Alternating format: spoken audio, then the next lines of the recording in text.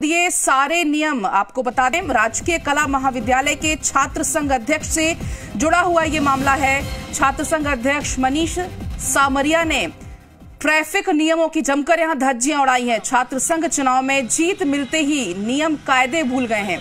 गाड़ियों के काफिले के साथ लाल बत्ती लगी गाड़ी में सवार होकर कॉलेज पहुँचे थे। छात्र संघ चुनाव जीतने के बाद पहली बार कॉलेज आने के बाद ये पूरा ड्रामा नज़र आया है। और तमाम जानकारी के साथ जी मीडिया संवाददाता हिमांशु जुड़ गए हैं। हिमांशु, छात्र संघ चुनाव में जीत मिलते ही ऐसा क्या हो गया कि सारे नियम कानून ताक पर रख दिए गए? देखिए ये तस्वीरें, ये ये तस्वीरें लाइव हैं और एक्सक्लूसिव हैं सिर्फ़ और सिर्फ़ जी राजस्थान पर। देखिए मनीष सामरिया हैं जो लाल बत्ती के साथ में गवर्नमेंट कॉलेज, राजकीय कला महाविद्यालय पर पहुँचे हैं और फ़िलहाल ये तस्वीरें सिर्फ़ और सिर्फ़ जी राजस्थान सबसे पहले पहुँचा रहा है। मनीष, ऐसा क्या हुआ कि आपको ये सारे नियम कानून तोड़ने पड़ गए आप जीतने के बाद पहली बार कॉलेज पहुँचे हैं। आखिर लाल बत्ती का यूज़ क्यों किया? जबकि आपको पता है कोर्ट का स्ट्रिक्ट है कि आप लाल बत्ती का प्रयोग नहीं कर सकते। मैंने नियम कानून नहीं तोड़े। मेरे आठ हज़ार छात्रों का प्रतिनिधि हूँ। मेरे को आठ हज़ार छात्रों ने चुना है राजकीय कला महाविद्यालय में, जो आड़ोती का सबसे बड़ा महाविद्यालय। मेरे छात्रों की इच्छा थी, जिन्होंने मुझे छात्रों ने समर्थन दिया है, मुझे जिताया है कि भैया, आप अगर आप कॉलेज में आओगे तो लाल बत्ती लगाकर आओगे। मैंने मेरे छात्रों की बात मानी और मेरे छात्रों की सुनी और मेरे सभी छात्र अंदर इंतज़ार कर रहे हैं और उनकी इच्छा थी, जिनके लिए मैं बनाऊँ और जिन्होंने मुझे बनाया है। तो उनके लिए मैं लाल बत्ती लगा के अंदर घुसा। आपको नहीं लगता नियम टूटे हैं?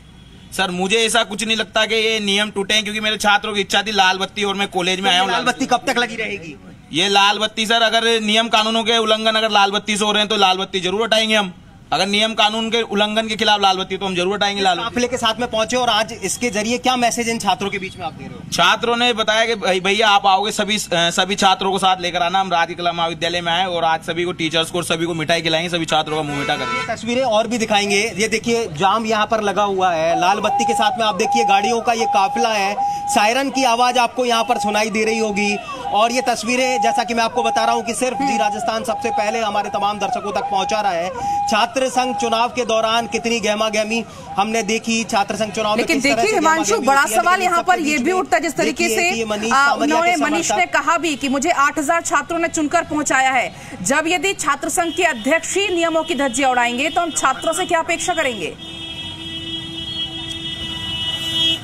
बिल्कुल, ये कॉलेज कैंपस के अंदर की भी तस्वीरें दिखा रहे हैं। मनीष समरिया कॉलेज कैंपस के अंदर एंटर कर चुके हैं और एंटर करने के साथ में आप देखिए कि कॉलेज कैंपस में जैसा कि उन्होंने कहा कि हम हमारे जो टीचर्स हैं, हमारे जो प्रोफेसर्स हैं, उनसे मिलने के लिए यहाँ पर आए हैं, उनका जो मुँह मीठा कराने के लिए आए हैं।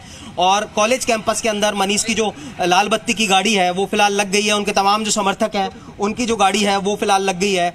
और देख सकते हैं कि लाल बत्ती कॉलेज कैंपस के अंदर, लाल बत्ती जो लगी गाड़ी है उसके साथ में फ़िलहाल यहाँ पर तमाम अपने समर्थकों के साथ में आ गए कंवर सिंह जी, मैं आपसे जानना चाहूँगा कि जिस तरह से लाल बत्ती लेकर के आप लोग आए हैं, आपको नहीं लगता कि नियम तोड़ दिया आप लोगों ने? नियम टूटे, लेकिन छात्रों की भावनाओं को देखते हुए आज उसको क्या बोलते हैं, छात्र संघ अध्यक्ष को लाल बत्ती लगा के आना पड़ा।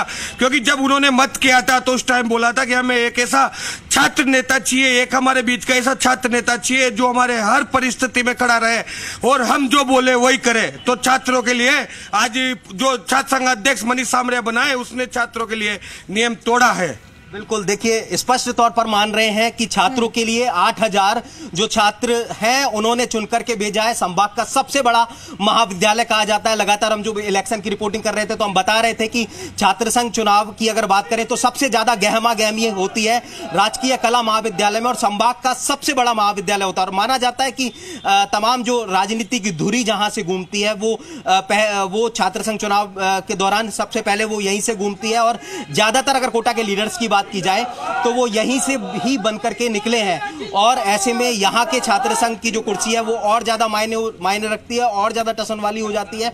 और फ़िलहाल फ़िलहाल देखिए, टसन सर चढ़ के बोल रहा है लाल बत्ती का। ये देखिए, लाल बत्ती लाल बत्ती लगी गाड़ी। राजकीय महाविद्यालय कोटा और फ़िलहाल यहाँ पर देखिए ये तस्वीरें अब कैंपस के अंदर जो स्टाफ है जो टीचर्स हैं उनके पास में मनीषा मरिया जा रहे हैं उनसे मिलने के लिए जा रहे हैं और कॉलेज कैंपस में अपने जो तमाम समर्थक हैं उनके साथ में अंदर पहुँच रहे हैं। हम्म, लेकिन हिमांशु सवाल यहाँ लगातार बरकरार है। जिस तरीके से भी आपने बात भी की उन्होंने उसको कबूल भी किया कि हाँ हमने नियम कानून तोड़े हैं। लेकिन बड़ा सवाल यहाँ पर यह भी है जिस तरीके से छात्र संघ के अध्यक्ष ये हैं यदि ये ऐसे काम करेंगे तो जो और छात्र हैं वो भी इनके पद चिन्हों पर चलेंगे? या उनके मन में यह भी रहेगा कि जब छात्र संघ अध्यक्ष ने नियम कानून तोड़े उन पर कोई कार्रवाई नहीं हुई? ये भी यहाँ पर बड़ा सवाल है। देखिए देखिए गलत को हमेशा गलत कहा जाता है। उसकी जो परिभाषा है वो निश्चित तौर पर एक ही होती है। और फ़िलहाल जब ये तस्वीरें हम देख रहे हैं और सबसे बड़ी बात ये कि आपका लीडर जैसा कि आपने कहा कि हम मैं 8000 जो छात्र हैं उनका प्रतिनिधि हूँ 8000 छात्रों को लीड करता हूँ।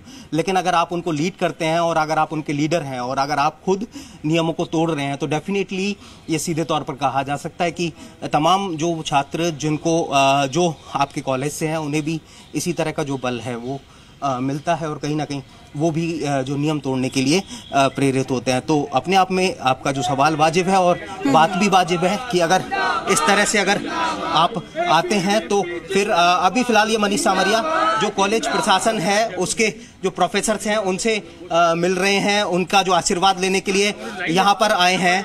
और फ़िलहाल तस्वीरें भी दिखाएँगे कि मनीष सामरिया ये पहली बार यहाँ पर आए। आपने बताया कि आप जो आपके टीचर्स हैं उनका आशीर्वाद भी लेने वाले हैं। हाँ मैं आज टीचर्स का आशीर्वाद लूँगा और उन्होंने शिक्षा भी दी है मैं उन्हें आगे बढ़ने की अपनी राह भी दिखाई किस तरीके से बच्चों की सहायता कर रही है और किस तरीके से कॉलेज का विकास करना है। तो मैं आज टीचर का आशीर्वाद प्राप्त करूँगा। तो देखिए मनीष सामरिया जो टीचर्स हैं तमाम टीचर्स हैं कॉलेज के जो प्रोफेसर्स हैं उनका जो आशीर्वाद है वो यहाँ पर लेने के लिए पहुँचे। बिल्कुल, हिमांशु, हम तस्वीरें भी लगातार दर्शकों को दिखा रहे हैं, लेकिन देखिए भी आपने कहा भी, जो गलत है, वो गलत है। इसमें भावनाओं का मतलब मुझे नहीं लगता कि यहाँ भावना वाली बात सामने, जिस तरीके से अभी कहा भी कि छात्रों की भावनाओं को ध्यान में रखते हुए वो लाल बत्ती पर सवार होकर कॉलेज पहुँचे हैं। चूँकि अब हालाँकि वो शिक्षकों से मिलने पहुँच रहे हैं, क्या शिक्षकों को इस बात की जानकारी है या नहीं है?